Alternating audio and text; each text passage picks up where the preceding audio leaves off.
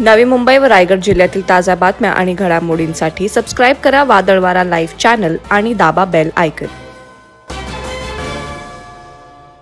JNPT परिसरात जागतिक दर्जाची कंपनी असलेली मर्स्क सीएफएफचं नाव मोठं आणि लक्षण खोटं आहे. इथल्या कामगारांचा दोन हजार सतरा पासूनचा पगारवाढीचा करार प्रलंबित असून न्यू मेरीटाईम अँड जनरल कामगार संघटनेने मस्क कंपनीच्या कार्यकारी मंडळाच्या बैठकीत कोविड भत्त्याची मागणी केली होती. ती प्रशासनाने मान्य करून प्रत्येक कामगाराला एक हजार डॉलर म्हणजे पंच्याहत्तर हजार रुपये प्रत्येकी मंजूर केले. मात्र वरिष्ठ व्यवस्थापनाने ते कामगारांना दिलेले नाहीयेत. कंपनीसोबत दोन हजार चौदाच्या करारनाम्यानुसार महागाई भत्ताही अजून कामगारांना मिळालेला नाहीये.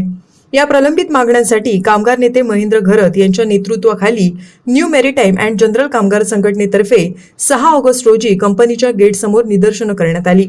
या प्रलंबित मागण्या लवकरात लवकर मान्य केल्या नाही तर व्यवस्थापनाला कंपनीत फिरकू देणार नसल्याचा इशारा यावेळी कामगार नेते महेंद्र घरत यांनी दिला.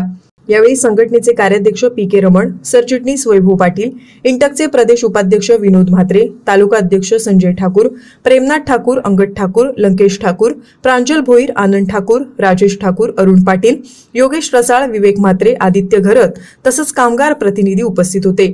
वादळवारा लाईव्हसाठी दिलीप कडूसह ब्युरो रिपोर्ट उरण. नवी मुंबई व रायगड जिल्ह्यातील ताज्या बातम्या आणि घडामोडींसाठी सबस्क्राईब करा वादळवारा लाईव्ह चॅनल आणि दाबा बेल आयकन